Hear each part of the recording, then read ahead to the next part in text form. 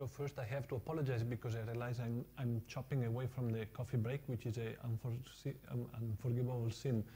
Anyone who should prefer to leave, uh. Uh, those who can endure me, I'll try to describe a bit of the follow-up that we do with relativistic explosions. And this is, of course, not my own work. Uh, I, there has been a huge collaboration in the years, uh, and some of the people are in this room, some in, I highlighted some that were the PIs of this program over the years. Uh, so relativistic explosion, uh, with this expression I tried to put together two, source, two kind of sources that are however very uh, related. And uh, one is gamma ray burst and one is uh, gravitational wave sources, specifically mergers of uh, binary compact objects. And there is a, a, a, very interesting connection between these two sources that has been theorized over the years, and then it was confirmed in 2017. So gamma ray bursts actually come in two species, in two, uh, in two classes. One is the long burst based on their durations, and one is the short. And, and they have a different physical ori origin, despite they, they show up in a similar manner uh, as uh, an electromagnetic phenomenon but uh, long come from the collapse of massive stars, so young, hot, uh, big stars that collapse, and the short come from the mergers of uh, binary compact objects, so maybe two neutron stars or a neutron star and black hole or two black holes. Uh, and, and these systems are also uh, gravitational wave sources. So when the LIGO and Virgo detectors made their, their thing and they, they find a new source, it's, it's from two compact objects merging, and associated to this gravitational event, there is also a, a gamma ray burst. Um, so this basically repeats what I said. Like if you check the distribution of the duration of gamma ray burst, you see that you have a bimodal distribution. You have two big groups, uh, and, the, and like the dividing line on the duration is two seconds. So the short ones are those that we think are due to mergers, and the long ones are due to collapsing stars. And we can do different kind of physics and astronomy studying these two classes of events. And yes, okay. The connection between short burst and uh, uh, gravitational wave mergers have been demonstrated at least for one event. Here you see a gamma ray light curve of, from the Fermi and INTEGRAL satellites. You see there is a, a, a gamma ray burst, so like an XX of emission out of the, the background. At the, like once, two seconds after the famous uh, gravitational wave events from uh, August 2017, uh, where the LIGO detector detected for the first time the merger of two neutron stars, and immediately after we saw this uh, electromagnetic signal. So at least for this gamma ray burst, a short gamma ray burst, uh, the connection is proved beyond doubt. Uh, we have massive secondary lines of evidence to connect the whole population of short bursts to, to mergers of, of events, but this is clearly a new field, and maybe there is some details that we are still not getting incomplete. So one, one term that you will hear in the rest of the talk is this kilonova. So when you have two neutron stars that merge together, they, they make, uh, they explode in the, in the contact, they, they release some of the, uh, the material in a, in a shell of debris, they create a, a, a, a, a, torus or a disk around the merging uh, uh, objects, and you also can produce a wind from the accretion disk. So all this material uh, is the remnant is expelled into space and it glows, which is very important for us because we can see it. And one of the key features is that in this, this is a very strange material. It's a neutron-rich material from the neutron star that gets converted into a heavy element. So this is a quite important uh, because it's a, believed to be a significant site of production of the element uh, of the R process elements. That so, um, and the, and the presence of these elements uh, beyond being interesting in itself because uh, then you can make uh, gold rings or, or whatever you want to do uh, is also that it imprints a very distinctive spectral signature on the uh, kilonova because uh, they have a very, very high opacity. So they create they, some of the region, the, the, regions rich with the lanthanides and these heavy elements, they, they, they, are extremely red. So they are basically not visible in the optical, they are only visible in the infrared. While other regions of the kilonova are blue, so you have a complex phenomenology. But uh, a, a, very important uh, signature of this kilonovae is the presence of a very red component which is actually very sort of a, a, smoking gun to, to detect kilonovae. So like uh, now that I've seen like uh, the GRB follow-up started at the NOT long ago. Like the first uh, GRB afterglow, the optical emission from a gamma burst back in uh, 97, so 25 years ago, something like that, already saw the participation of Danish astronomers and one NOT astronomer, and there were NOT data included in, the, in this paper. And since then, um, like uh, it, it has it has been a, a quite quite a, a, a fruitful business. Um, so like uh, in 25 years, like uh, about 350 afterglows have been observed. Uh, so there is maybe 30 hi- th- 350 of you that were annoyed because we were you were observing something else, and the, the gamma ray burst uh, suddenly happened. Um, I, I'll, I'll hope to, to to explain why it was worth. Uh, like um, uh, we also secured the several redshift. Uh, so the redshift uh, is usually typically something that is left to bigger telescopes like like the VLT or Gemini.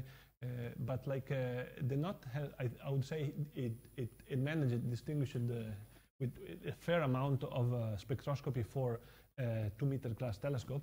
Um, uh, so, so like it, it, it has given a non-negligible contribution to to uh, to the uh, GRB mm, amount of data that we have collected worldwide. Another very effective business that has been happened in the, especially in, like, the last decade, was the follow-up of the supernovae associated to the long GRBs. I mentioned the long GRBs come from from massive stars, and so you, you see the supernova evolution uh, beyond the uh, gamma ray burst presence, and this has allowed us to find constraints on, on the exploding stars, the stars that generate gamma ray burst. But now I would like to say one thing that uh, uh, maybe it doesn't always sound uh, grandiose, but uh, I think the NOT is a great enabling facility. So it has uh, many of the observations that we secure the NOT are uh, the base for follow-up campaigns, and I will show some of them. But like this is not a non-trivial task. It's it's a very solid foundation uh, that we managed to to use to to to trigger other programs to do more in-depth uh, follow-up. Uh, in particular, like uh, we collaborate with the Stargate collaboration at ESO, uh, which uses the VLT, and uh, and it's a it's a very important resource for us to have access to the NOT that gives us the magnitudes of the targets that we try to trigger on, and uh, and and gives us pre-selects uh, interesting targets, and uh, so like we we for us it's a very important uh, uh, contribution. And I would say that there is also recognition worldwide, like. Uh, in speaking with uh, GRB colleagues uh, like uh, uh, around the world from um, the US and so on, like it's it's a it's a very well known uh, contribution that, that the NOT brings. So like why do do I need to affect you? Uh, why do GRB astronomers need to affect you when when we observe? Is the fact that the, the the bursts are very very bright at the beginning. You can see magnitudes ranging from 15 to 10, or some exceptional cases even brighter but this lasts very short, lasts maybe half an hour, one hour. Or uh, so in, in these very first early stages, we have a, a, a very bright afterglow, which is completely accessible to the to the to the NOT, and uh, we, we, can get high quality data for these events. Uh, but there is also a physical reason. Um, basically, the gamma ray bursts work uh, logarithmically. So let's say between uh, 10 minutes and 20 minutes, in the in the GRB lifetime is the same as between one day and two days. So with with 10 minutes observation, you, you are spanning like a, a, a double a doubling time of the life of the of the object. So so you get a lot of information if you manage to get as soon as possible. And often uh, after several hours, maybe they become too faint and, and, and not feasible. Uh, so like uh, one of the things that we also like uh, look forward to with the upcoming of NT is the rapid response mode. This would be a way to um, minimize the delay between the explosion of the GRB and the observation. And like this is a technique already implemented of some telescopes, especially for example in Chile. But this plot shows you a little bit of a problem that Chile has. Uh, these uh, strange uh, contours on top of the map of the world represent the so-called South Atlantic anomaly. So uh, it's a it's a region in the sky where uh, there is high background uh, in in from from cosmic rays. So whenever the Swift satellite is going into its orbit, when it passes on top of that, it has to switch off because it would get no useful data and possibly damage the instruments. So basically, anytime that Swift is on top of Chile, cru- crucially, it's not detecting burst. So of course there are some like maybe that are still visible. The the field of view is wide and so on. But like uh, uh, Chile is unfortunately a bad place to to get a rapid response because there will not be burst promptly visible. But the Canary Islands are a much in a much better situation. So we expect like there, is a, a larger number of triggers visible from here, and and this is a I think it's a precious resource compared to to, to other locations. Um, yes. Uh, this is an example, however, despite uh, like uh, with what we have, like this is a fairly recent. Uh, we got uh, this uh, afterglow. It's a spectrum at redshift 5.6, so fairly okay. Nowadays, uh, I don't know, high redshift is 10 or whatever, but still, uh, it's a it's a good. Uh, I'll, I'll show briefly. Like so, you see, this is a spectrum taken with ALFOSC, in which you, you we see the whole the whole picture. This big, uh, this is the the trace, the signal of the spectrum. This is the 2D spectrum. So we have red here and blue here. So the wavelength direction is, is, is spread in this direction. And this big uh, gap, you see, there's no light, is due to the absorption of hydrogen. Is uh, It's a dampened alpha absorption system. But you can see uh, here there is continuum from the afterglow, and then you have uh, little uh, blips, which are absorption features from metals. And this part, instead, is absorption from new, uh, neutral IGM at lower redshift. Uh, it's called the Lyman forest. And if you put this in a more consumable way, is a like one-two spectrum. You see that uh, this is the fitted afterglow spectrum. This part is completely uh, uh, killed by the uh, the intergalactic uh, hydrogen, but this is due, this uh, this profile is due to the hydrogen in the host galaxy, and these are the absorption lines from various metals. So you can see that here we can, in principle, measure both the hydrogen content and the metal content for various species. So this would lead to a key to, to measure the uh, metallicity, like, which is the ratio of how much metals to hydrogen we have. So one issue is that the resolution of ALFOSC is not sufficient to do this in, in, in an accurate manner because the line profile has, needs to be resolved and there are degeneracy between the velocity profile of the line and the column density. So like uh, uh, with NTE, like with, with ALFOSC, we, we, we get the redshift, we get some basic measurements, but with NTE that will uh, have a higher resolution, will make a step forward and really uh, be able to measure detailed property of, uh, of the medium.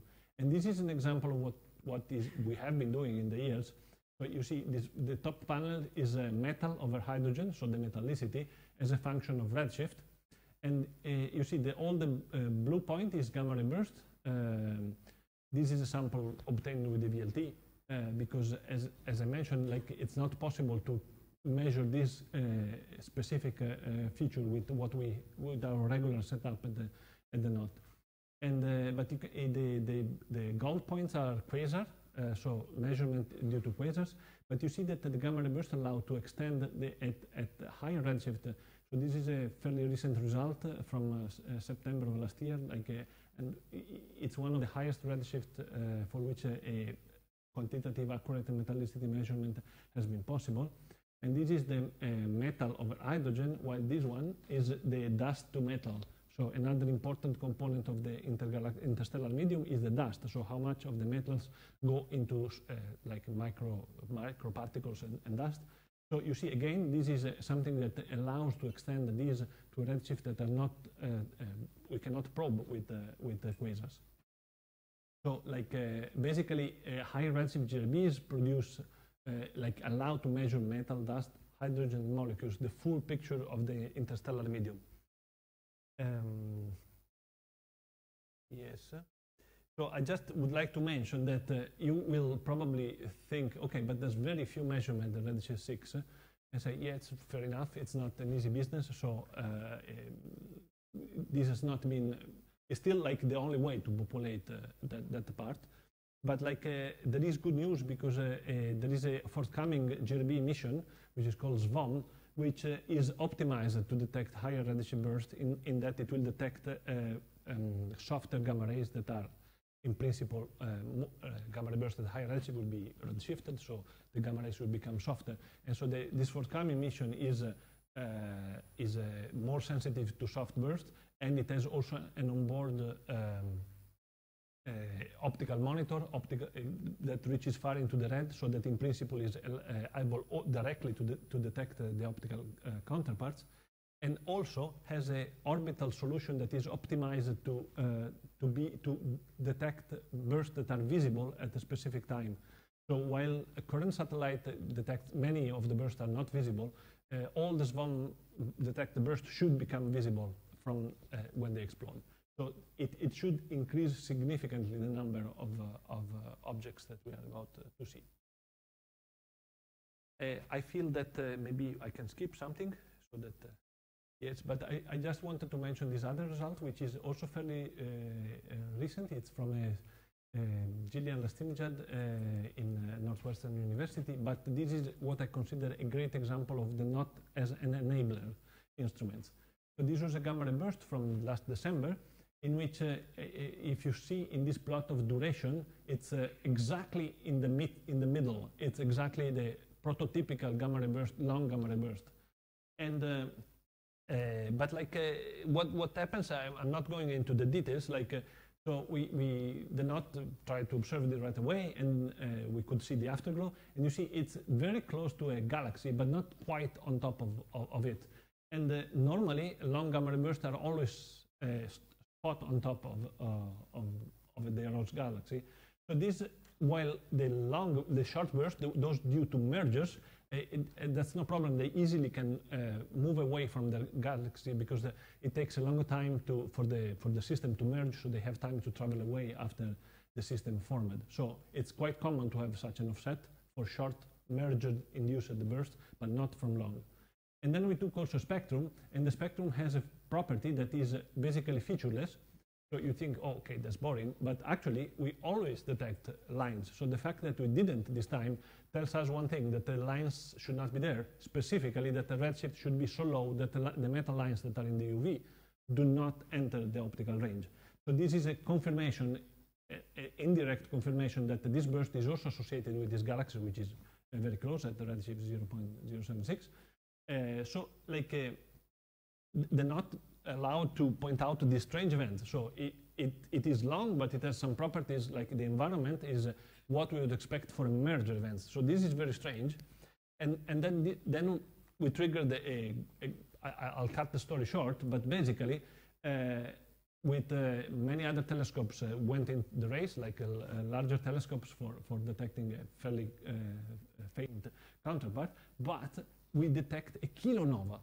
And this is fairly unique because the kilonova is what is the signature, the smoking gun of the merger burst, and merger bursts are the short ones. So the detection of the kilonova uh, clears this doubt that we had before, uh, that like it's strange, the environment is what we expect for a, long, for a short burst, uh, even if the burst was long. So the conclusion is that some of the long bursts uh, are still produced by mergers which is a, a, challenge to a paradigm which was established in the 90s, but clearly and, uh, there is a small fraction of these events that the, the, the long bursts that still produce, uh, they are produced by mergers.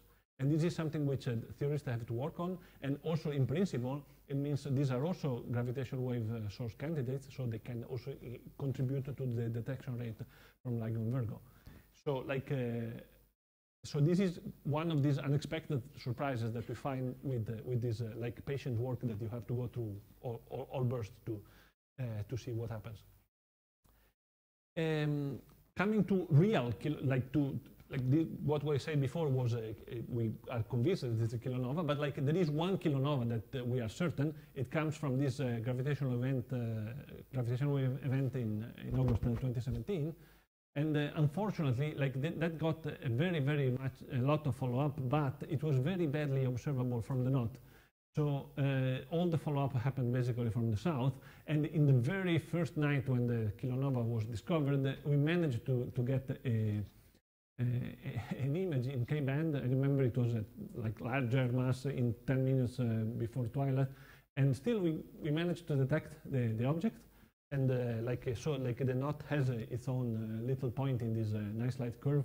And then this contributed to of course to a great campaign that was carried out worldwide. Uh, unfortunately NOT could not physically have a, a, a, a, large role in this but it was still nice to, to, be, to be part of this, and, and it was like this watershed event.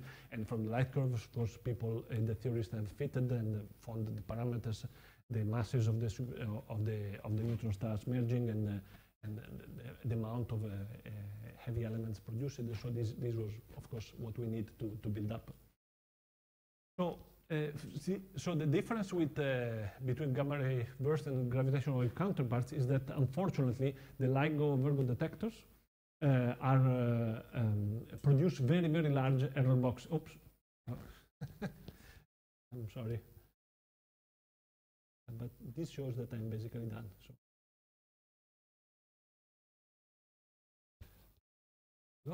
So um, so like the, these are the error localization of some of the, objects. You see that encompass, en- encompass a large part of the, of the sky.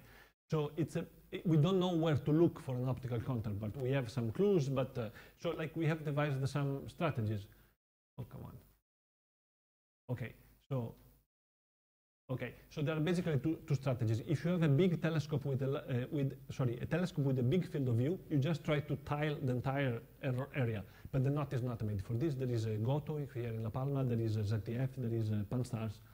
But like uh, there is another strategy. So we expect these systems coming from massive galaxies.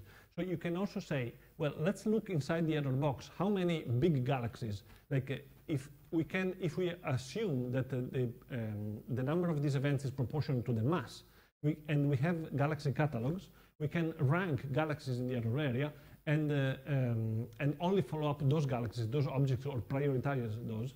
And so this is the strategy that we are trying to implement uh, um, uh, with our program at least, because it's unfeasible to cover everything. But like, uh, for example, the, this uh, supernova, the, this kilonova 2017 GFO was if you created this ranked list, it, it is either first or third, depending on assumption, in the, in the list of the galaxies that you would like to try. So the, it's a very, it, for the one case that we know, it was a successful uh, enterprise. Of course, it, uh, it depends on how complete are the galaxy catalogs and uh, also how large still is the error box. This was one of the events with the uh, tightest localization. So basically, uh, there's not been much progress. There has been an observing run in 2019-2020, which unfortunately did not lead to any viable um, event that we could follow up from the NOT. So we are eagerly waiting the next run that is starting in December, even if now, uh, of course, I hear that there could be delays by a few months, but we are still in the, in the situation. So basically, what can we do with the NOT? Uh, well, the first thing is that, as I say, like we can do this automated follow-up. It was already implemented for the previous observing run. We auto-generate all the galaxy list, and, and we can even uh, send the, to the telescope comments that, uh, not, not, sorry, not comment. We can create the, the TO in, in, in a way that uh, uh, we, we, can easily, uh, um, the observer can easily start observing. Another thing that we can do, of course, is there are many candidates produced by surveys. The, the other approach, the, the, survey, the large wide field surveys, they look for candidates and, and they, they, they find candidates, but many of them are spurious, so we, we need to confirm them. But if we find a, a kilonova, uh, the, the right one, like the, the infrared follow-up is a key feature here because the, the kilonova becomes brighter in, in, in, in the infrared compared to the it, so this color, the optical color, optical versus near color, is a very strong discriminant of, of this kind of transients. So it, the, having a near follow-up uh, available is a major, uh, even a combined uh, infrared optical is a major advantage over other instruments. And of course, uh, uh, for, the, for those cases where, where it's bright enough, uh, spectroscopy and calcification of the, of the features uh, of the kilonova itself. And here I, I show uh, some examples of the, of the uh, 2017 GFO. You see some of the features are very broad and, and so like it's not really an issue about even a small telescope can, can catch this issue, these features and maybe capture its evolution and, and at least in the early stages. So, well, I already mentioned also parts, this is my last slide, uh, where NTE will allow us really to do better because you say, well, if you have observed a 350 gamma burst, why do you need to do more? Well, of course. Well, the first part that I'm saying is that uh, the higher resolution spectroscopy will uh, give us significant better information compared to what we can do until now. And as I say, like the, uh, especially uh, covering more to the, to the, to the infrared will allow to detect features that are not, uh, that are redshift out in the, in the, in the infrared, especially now that SVOM is promising to, br- to bring many more uh, objects uh, uh, at high redshift. So we really ho- hope to uh, populate the, uh, the redshift space around 5, 6, and 7, 8 to, to get these metallicity uh, studies. And it's uh, the fact that uh, we should have enough prompt uh, events visible right away from La Palma, it's a, it's a big advantage, even over the VLT in Chile. And uh, again, the infrared, as I just mentioned, is crucial for the kilonova studies. And uh, one more thing is that, uh, well, practically, the fact of having the instrument available all the time, both in infrared and in optical, is a key advantage. Uh, currently, like we either have ALFOSC or NOTCAM, uh, so uh, the fact that of uh, having both capabilities at the same time will be, uh, of course, a, a major advantage for, for our object. Uh, have intrinsical information spread between the two ranges, so having the two instruments or having the full spectrum available at the same time is, is a key feature. And I see on my screen end of slideshow, so I'm done.